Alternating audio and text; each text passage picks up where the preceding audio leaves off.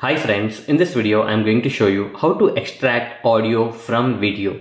I made a video in the past on how to extract the audio from video. It's a easy way. I will give the link in the description box. Please do check that. For that video you need to install an app from the app store but using the method which I am going to say now there is no need of installing a separate app.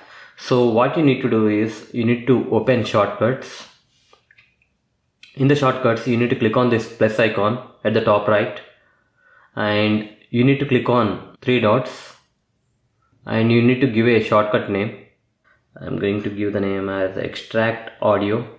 And after giving the name you need to enable this option show in share sheet.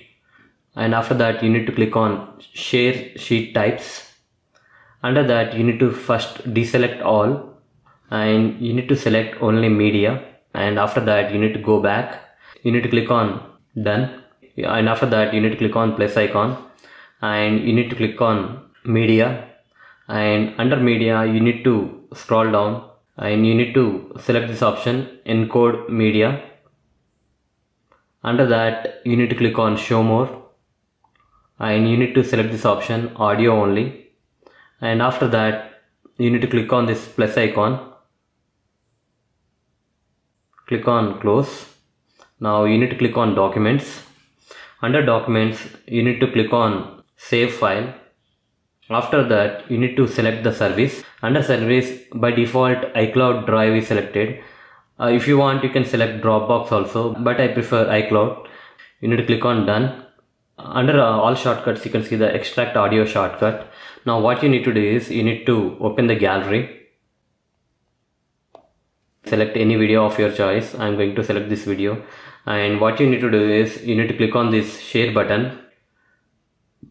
And you need to scroll down and at the bottom you will see there is option called as extract audio. Click on that. Here you can see that it is giving message preparing. So you need to wait for a second or so depending upon your uh, video clip. And after that it will give you an option to select the file. Here you can see that uh, by default it is selecting iCloud drive.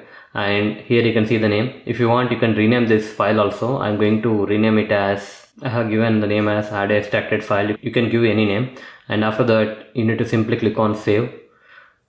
Now you can see the message uh, extract audio successful. Now go to files app. Under iCloud drive here you can see the audio extracted file. You can simply play the clip and you can use it so that's it guys. In this way you can extract audio from video on iPhone without the need of any app. Hope you like this video. Please do subscribe to our channel. Thank you.